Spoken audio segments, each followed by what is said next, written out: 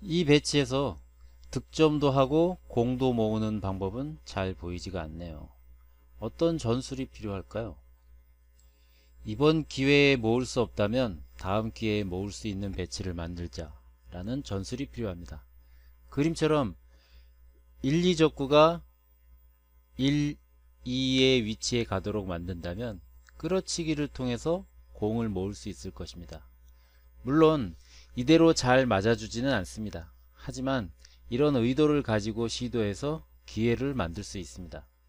무엇보다 1적구를 코너에 넣는 것이 중요합니다. 1적구가 코너 좋은 곳에 있으면 2적구가 어떻게 맞든 다음 배치가 좋기 때문입니다.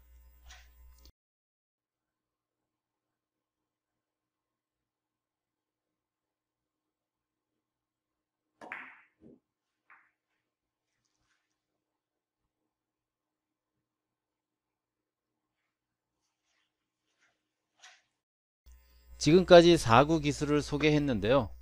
당구 박사가 알려드린 배치만 잘 연습하셔도 모두 고수가 될 수 있으리라 생각됩니다. 설명이 부족한 부분은 유튜브 등 온라인을 통해서 취득할 수 있고요. 내용이나 제품에 대한 의견이 있으시다면 홈페이지나 커뮤니티 등을 통해서 알려주십시오. 당구 동호인 여러분들에게 도움이 된다면 적극 검토하여 반영하겠습니다.